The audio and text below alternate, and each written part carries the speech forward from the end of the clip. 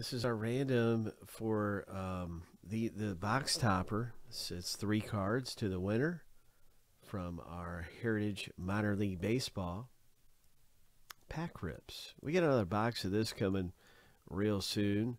Uh, that's going to be available in an hour or so. Not probably not even that. Uh, it could be here really really soon. So, a Heritage Minor League seven times through. Good luck.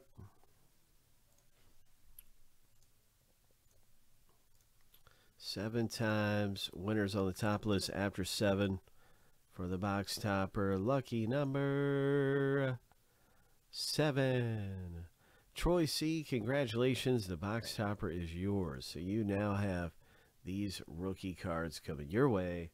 Minor League box topper. Hope.